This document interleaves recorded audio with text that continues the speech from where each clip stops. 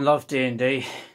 Having discovered it regrettably late in my life, in the last two years in which I've been both a player and a dungeon master, the latter of which I much prefer, as you can see, it quickly became one of my most passionate hobbies and has already given me so many great experiences that I will fondly remember for many years. I could tell you about the time that one of my players ate a magic bean, then during a combat the next day, he shat out a lifelike stone statue of himself that insulted him and tried to get everyone to kill him. He loved it. Or the time that one of the party members became a coke addict. The character, not the player.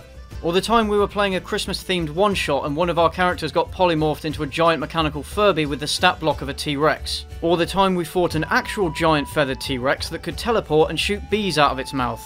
Yeah, we noped out of there pretty quickly. Or the time my dim witted barbarian tried to use his loincloth, the only thing he was wearing, as an Indiana Jones style counterweight. It didn't work, and all but one of us got eaten by a froghemoth. I could go on, but basically, I've seen a lot of weird and I love it. And I'm hardly alone in this. Ever since Gary Gygax and Dave Arneson's creation came onto the scene in the 70s, Dungeons & Dragons pretty much defined the role-playing genre as we know it today, and has always exerted an enormous influence over the nerdy side of Western culture. It's inspired millions of players, writers, and storytellers. The amount of games, novels, TV shows, and movies that at least partly owe their existence to D&D is... Um... Well, let's roll for it. It's a lot. It also earned the wrath of a few pearl-clutching evangelicals, but that's a story for later. Since I publicly expressed an interest in D&D, more than a few people suggested I make a video about it, which is something I've wanted to do for a long time anyway, but how to make it fit with my channel? Oh yeah. There were movies about D&D, and they weren't very good. You are under arrest. I'm not just talking about this one, the one that's become notorious for how bad it is. There were other movies that made use of the D&D license and were officially approved by Wizards of the Coast. So I'm going to take a look at these movies in no particular order and see just how well they've managed to roll on their performance checks. Spoiler alert, not very well, because for the most part they're worse than a pack of rust monsters. While I'm at it, I'm also going to cover Mazes and Monsters, a TV scare movie made at the height of the moral panic around D&D in the 80s. Because the fact that that was a thing will never not be funny to me. I have spells. So grab your dice and your character sheets, and let's go on an adventure. Now, how does it start again? I've never been good with beginnings. oh, yes. Fireball! By the gods. First up is 2008's Dragonlance, Dragons of Autumn Twilight, made by Commotion Pictures and distributed by Paramount in association with Wizards of the Coast. This was based on the first book in the Dragonlance Chronicles, set in the D&D campaign setting of the same name, with authors Margaret Weis and Tracy Hickman assisting George Strayton in adapting the screenplay. Dragons of Autumn Twilight was actually based on the author's own D&D sessions, in which they played through the first of the official Dragonlance game modules. I haven't read these books or played any games in the setting, so I had no expectations going into this, but I do know people who have, and not a single fan of Dragonlance I talked to liked this film, and the response from fans online seems to be mostly negative, and it's really not hard to see why. The most obvious thing that stands out is the animation quality, so let's start there. Even played straight off the DVD, it's fairly low res and blurry. The animation style is pretty uninspired and boring, not much better than your average Saturday morning cartoon, and barely an improvement over the D&D cartoon that came out 25 years before. Not only the style, but also the execution is lacking. Sometimes expressions are way off. She's meant to be eagerly awaiting his approval, but what does that expression look like to you? And what's wrong with this image? And why does this spit look like something else? The frame rate often drops considerably, I guess so that they could save money, but especially during the fight scenes, it looks horribly clunky. This is made worse by their attempt to combine the 2D animation with some 3D CGI, which is poorly rendered, looks primitive for its time, and doesn't complement the traditional animation. Aside from the gimmick of combining the two styles, I don't get what the point of this was, especially when they couldn't do it well. Comparing this to The Iron Giant, which came out nine years earlier and did it far better, it really is a testament to Dragonlance's low budget. As are the effects, which are occasionally placed on top of the animation, again with. Uh, mixed results. It seems like most of the budget went towards the voice acting, because there's some big names and decent talent here, including 24's Kiefer Sutherland, Smallville's Michael Rosenbaum, Eu- Eurotrip's Michelle Trachtenberg, and Lucy Lawless, most famous for her role on The Simpsons. And some other TV show, I don't know. Most of the voice acting is decent, child actors notwithstanding. Tag, you're it. Can't catch me. You're it. ha ha. Hey, how come you're so short? Story of my life. Kiefer Sutherland's underutilized voice work is probably the highlight of the movie. If you have entered this wood with evil intentions, you will not live to see the moon's rise. But when he reads out the spells, it's just hilarious. It's like he didn't take them seriously at all. Ast, Tesserix, and Roland Cronawi. Except that apparently he did. He did a lot of research into his character and often worried about the pronunciation of magic spells, necessitating multiple takes of their castings. Khaleth Karan Tobanis Car. We did 20 takes, and that was the best one. Often the dialogue doesn't match the mouth movements, which are already pretty simplistic. At times it felt like I was watching an anime. Slime. At least I'm not a half-breed. And then there's the story, which is dripping with plenty of cheese. I offered you a chance to work for the further glory of my queen, but you have denied her, and now you will pay with your lives! If it had been a Saturday morning cartoon, it might have been decent, but it's really not. The film very clearly suffered from having to condense the 450 page novel into a 90 minute movie. Large amounts of the story had to be cut out, which meant that the storytelling is simplistic and dull, and the narrative seems to take place in fast motion, even as the animation stutters at 4 frames per second. The pacing is awful. The film very often rushes forward and then grinds to a halt and then rushes forward again, making for a very disorienting experience. And based on what fans of the books have said, it seems like its characters got butchered by this adaptation.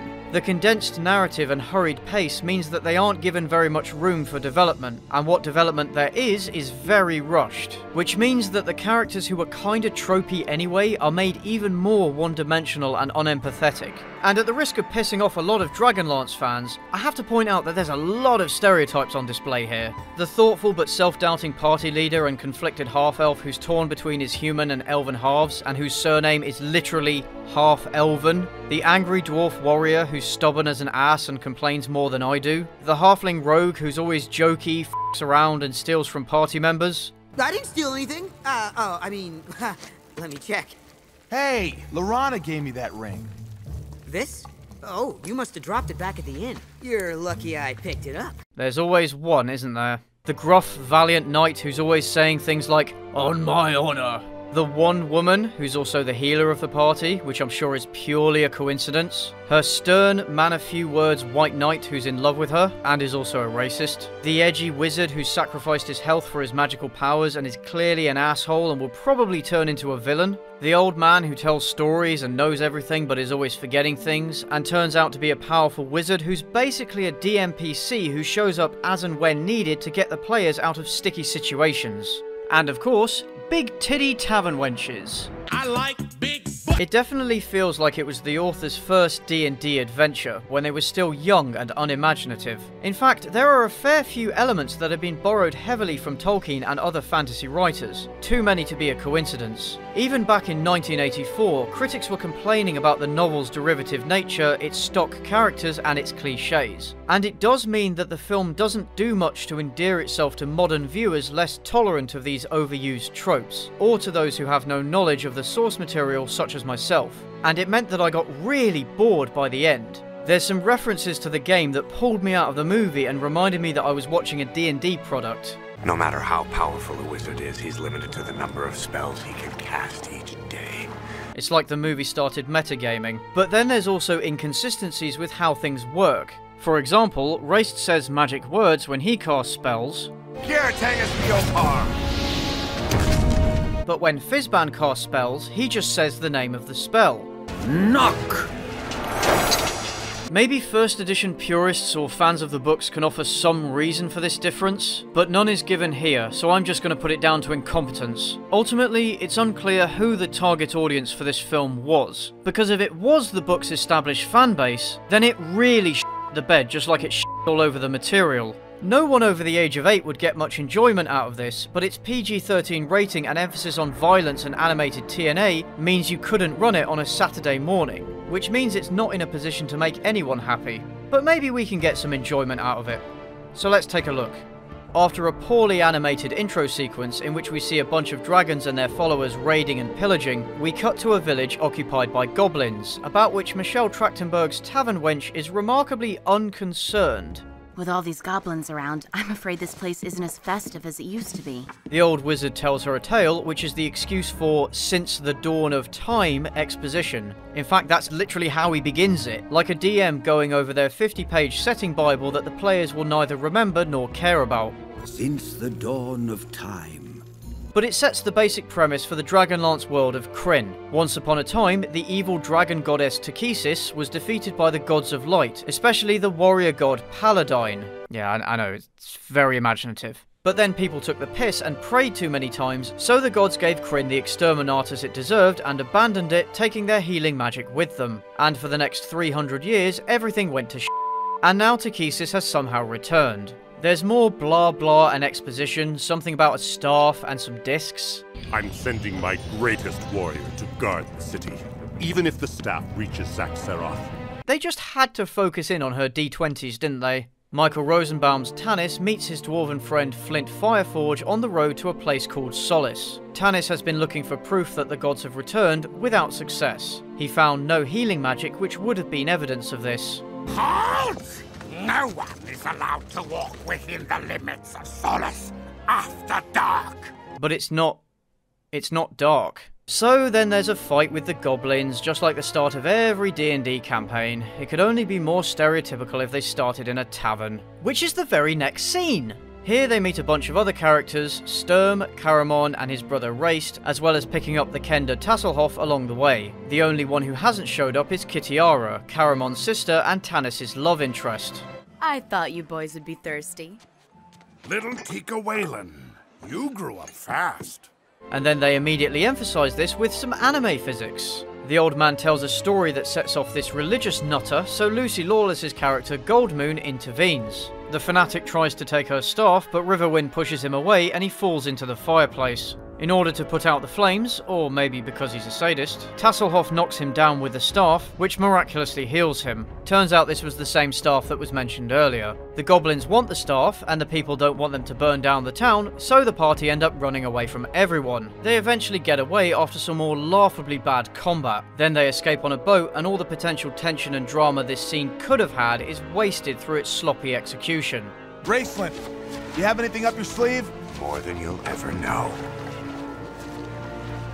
Ast to Sarex in Rollin Cronawi.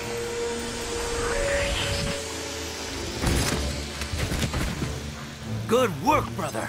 Why didn't he do that earlier? What was he waiting for? Riverwind starts being racist towards Tanis, so PvP almost breaks out. But the party decides to put their differences aside and set out for the village of Hayden to find out more about the staff. During a short rest, it's revealed that Riverwind and Half Moon are in love but can't be together because they're from different social classes. But after only a few sentences are uttered, the story moves on to its next beat and shifts in tone again, as the party are approached by monks who turn out to be Draconid warriors. So, after an even worse fight which shows just how badly the two animation styles don't work together, Sturm lies dying and no one mentions using the staff and it takes about 20 seconds for Goldmoon to think to use it on him.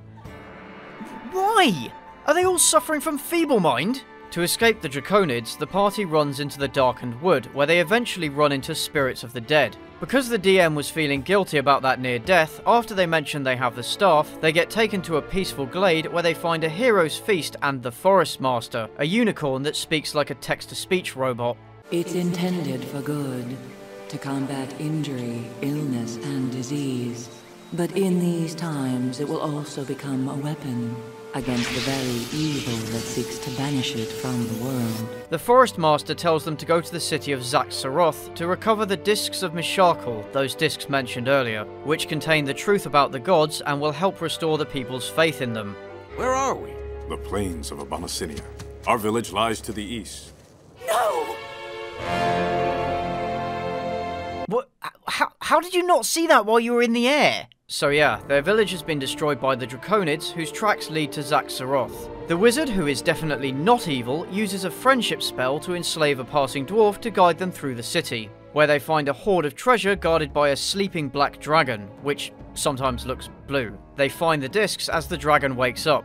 Goldmoon breaks the staff in order to destroy it, but is herself destroyed in the process. Riverwind, being a racist, blames Tanis and so does Tanis. But they find Goldmoon in a ruined temple, having been reborn as a proper cleric after her intense act of faith. They realise that they are unable to decipher the discs, so they head back to Solace to find someone who can. On the way, they get ambushed by the Draconids and taken prisoner along with the other inhabitants of Solace. We can't let them have the discs. If they realize what they are... It'll be all right. I have cast a spell upon our belongings.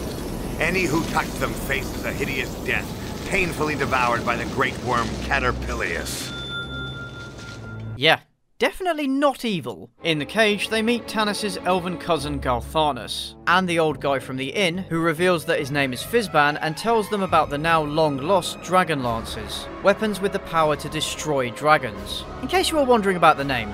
Mishako, please heal this child, if it is her destiny.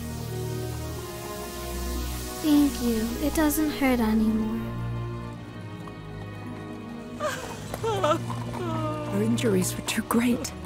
Well, I guess this god of light hates kids. You know what I say? F the children. The caravan gets attacked by elves and the party breaks free. Elves hate humans, of course, so they refuse to help them any further, but with a successful persuasion roll, made at advantage with help from Gilthanas, they are led to an elven city that's definitely not Lothlorien to meet the elven leader, who doesn't believe them until Fizban makes a successful intimidation check. So he tells them that Verminaard is gathering an army to attack them, and asks the party to foment a rebellion among Verminaard's slaves in order to give the elves time to escape. Tanis wants to go alone, but the rest of the party insists on going with him, as does the old wizard and the tavern wench. Not that she adds anything to the party meta besides those plus two jugs. Tanis rejects his elven love interest, because of course that's a thing, because he thinks the elves will never accept them. Gilthanas leads them on a secret route to Verminaard's stronghold, where Goldmoon heals the leader of the slaves, who tells them that a dragon is keeping their children hostage, which is why they don't dare try to escape. In order to get past the guards, they adopt disguises and somehow manage to pass their group deception roll. The old dragon guarding the children turns out to be half blind and insane, giving them advantage on their deception checks. They lead the people back to the secret tunnel, but the Draconids have found it. So Tanis is unsure what to do and starts doubting himself again. Wasn't it your faith in each other and in the gods of light that got you this far? Faith is your greatest weapon against Takhisis. Embrace it, you'll become beacons of light to lead the slaves out of darkness. I mean, another fireball wouldn't go amiss. But instead they decide that the smart thing to do would be to try sneaking out the front gate where the entire Draconid army has assembled. They fail their group stealth check and it very quickly goes tits up.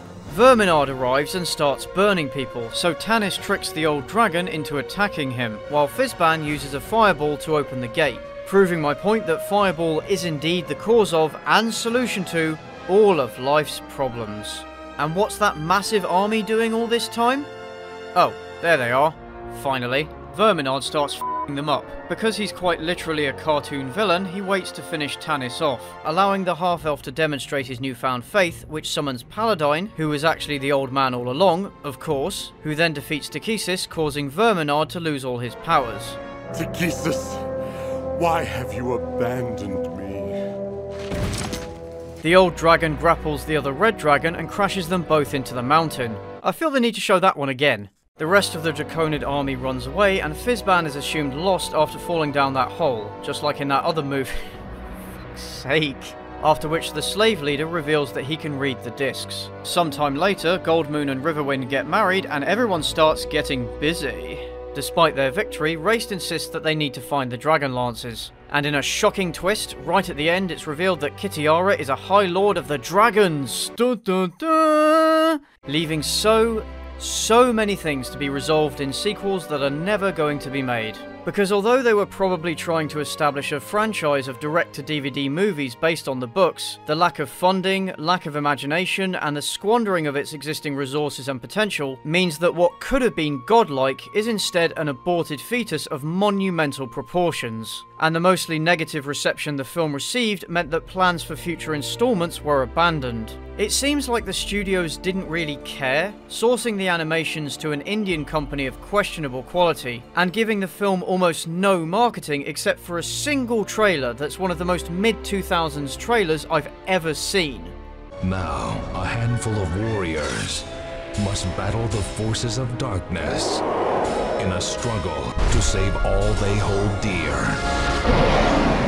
There are rumours that another Dragonlance movie may be in the works, but until then, this is all that the fans have got, and I honestly feel bad for them. So yeah, this series is off to a great start, and it's only gonna get better. I'm gonna be finding dice everywhere for weeks now. Thanks for watching, folks. Once again, I gotta say a big thank you to all my lovely supporters on Patreon. You guys are awesome. If you like what I'm doing here and want to support my channel more directly, consider becoming a patron yourself. Subscribe for future content, including more bad D&D movies, follow me on my social media if you feel like it, and I'll see you in the next one.